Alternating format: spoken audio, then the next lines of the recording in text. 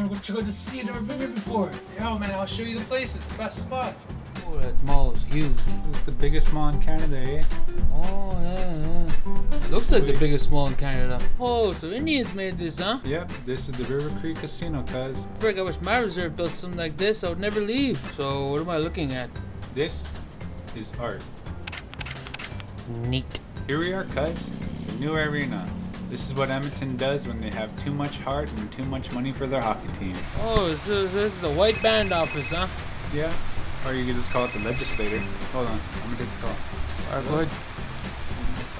It looks like real, real organized because there's like no no lineups or anything.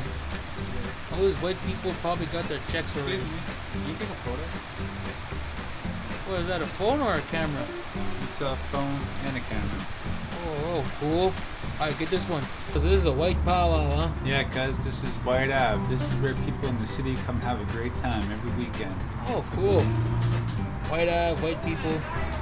That's funny. What's that right there? So, cousin, do you think you'll come back? Nope. Why? Cuz my reserve needs me. Like, I mean, sure, it's all pretty to look at and everything, but um, there's still kids at the reserve who have no sense of culture, who need some identity in their lives.